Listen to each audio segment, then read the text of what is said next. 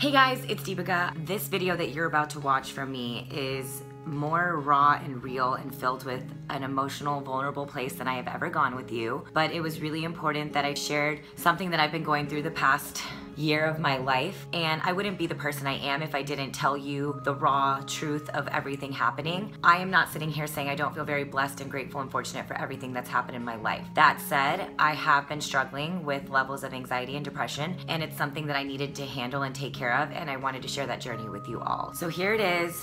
You'll see me more barefaced than you ever have before, but that's okay. It's who I am. So it's T plus two days since the Met Gala, and it was the most surreal experience I had since I moved to New York City. I have now been living in New York City for five years, most amazing five years of my life.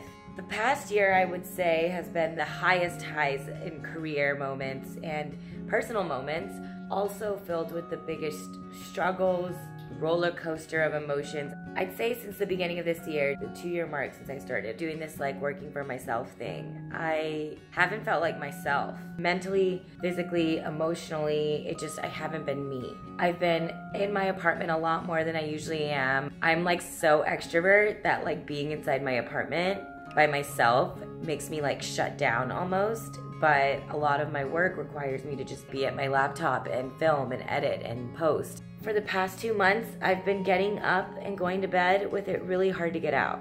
And if I think about it too much, I'll get really emotional and I don't want to do that. I want to be in this career for the long run and I never want to feel burnt out. And I feel like I'm getting there. And so I've decided that I am going to move home to Texas for a month and just be with people like my mom and dad who literally want nothing from me. The purest of people, the most amazing people I know, and I can do what I'm doing in Texas. I used to feel like I had to be in New York because I was grinding, grinding, grinding, and I like loved the energy here, made me like work even harder. I feel like so many people would be like, why wouldn't you be happy? You're literally living out your career dreams. But sometimes you can have all of these highs in your work life and still feel so alone and unhappy in other parts of your life. I used to hear people say that and I was like, get over it. It's a real thing, people. There's no one in the world that makes me happier than my family. So here I am, packing for the next month and a half of my life. I'll be in Sugarland, Texas, and I want to bring you guys along with me. See you in Texas, y'all.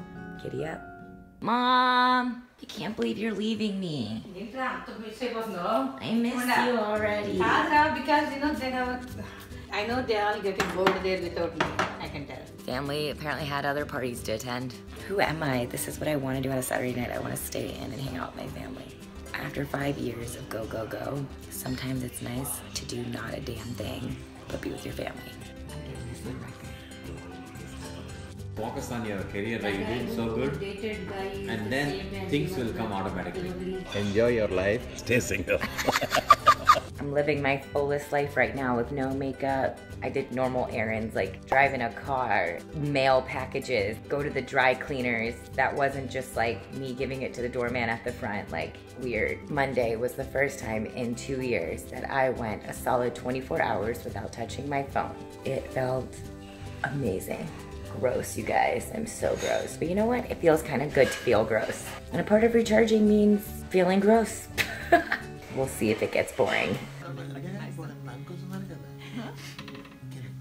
My uncle is starting chemo for stage 4 cancer.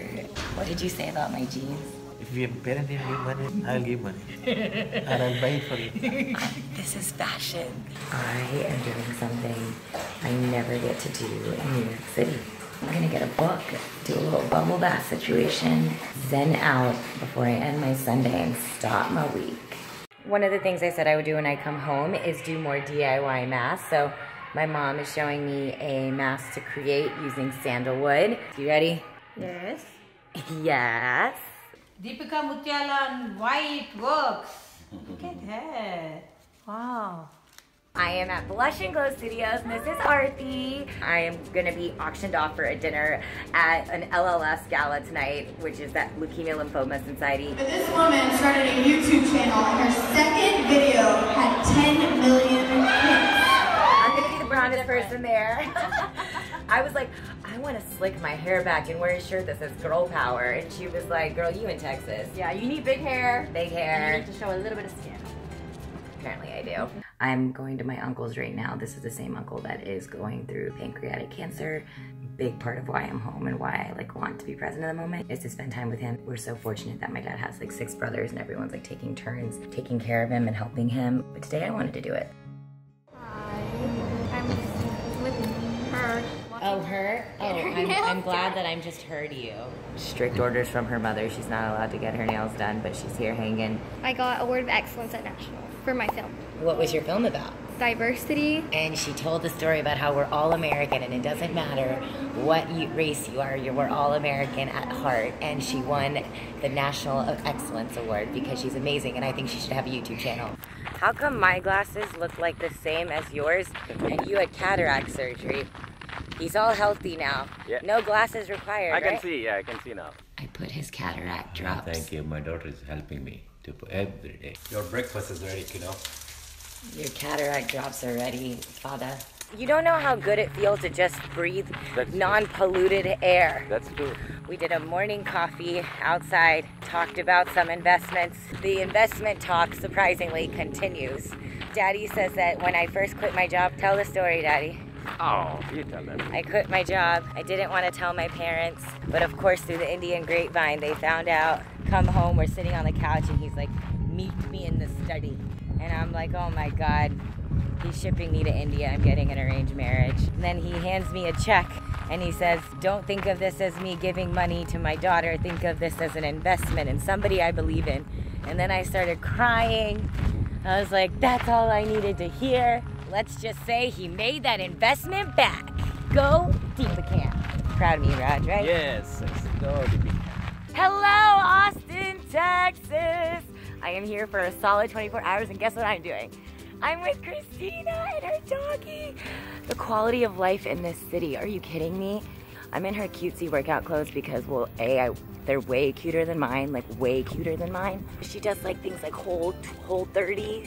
Am I saying right? Is it whole 20? Whole 30, sorry, sorry. I low key could see myself living here one day. Franklin's thirsty. Oh god, I mixed it up. This guy.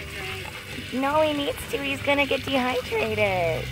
Take you in my arms.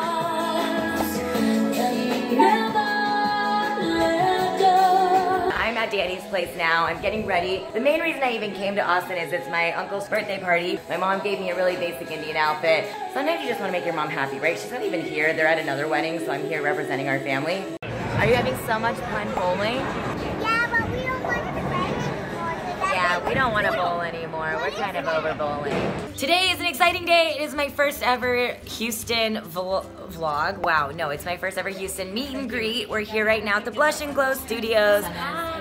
I really just wanted this to be fun and meet my supporters in Houston. See, this is why I like Texas because you get to see your best friends. What was our thing? Like watching Friends? I And baking cookies. and oh, God, of course, there was always cookies. Cookies and friends, that's all you need. My dad's dropping me right now to my friend Lauren's house so she can take me to our high school reunion. But I want to kind of just enjoy the moment, be there and talk to people that I haven't seen in a while. We had an amazing party at our home, my big fat Indian family of like a gajillion cousins. We all lined up on these stairs and took pictures. It was such an amazing night. My sister looked breathtaking. I mean, the makeup on her was, if I do say so myself, fantastic. Honestly, I don't miss New York at all right now. I love home. It's just nice to know I could be like, Mom, and she's like in the other room, you know? And there just literally is no purer love than your mom and dad. And I just like love doing things for them. They're truly my best friends. And they like talk about setting me up with people. I'm like, get at it. What's his name? I have no desire to go to New York and it's weirding me out. I used to hate on people who wanted to stay in Texas. It was like, why don't you want better? Don't you want bigger? Don't you want more? What's better? What's bigger? What's more?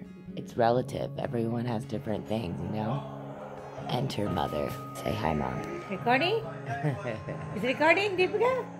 Are kidding me? I just had like a revelation. You know, breakups are tough, they suck. But you know what? You have to go through it. You have to heal. You have to go through those moments. I did. And you know, it took me a long time. And I feel great. I remember why I'm in Houston. It's for me and my family and to reset so I can leave here better, stronger, and more rejuvenated to go and reach all of my dreams and create new ones I didn't even know I had.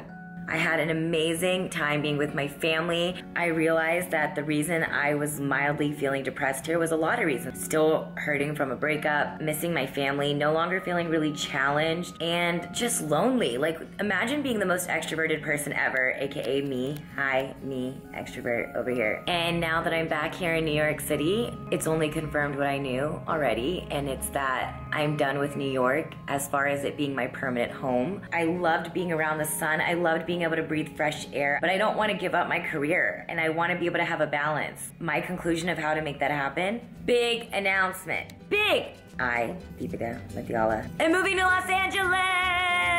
Basically, I've been debating this move for a very long time. I've always wanted to live in both coasts at some point in my life. I've always listened to my gut in the past, and it's telling me to go give the West Coast a shot. I can fully do what I'm doing there, if not in a better quality of day to day life. I want to continue focusing on my health like I had been when I was living in Houston. That doesn't mean I'm going to stop YouTubing, but it means that I want to grow my business. I have big dreams of so much more I want to do, and I want to do that. And I think that LA is the perfect place to do it.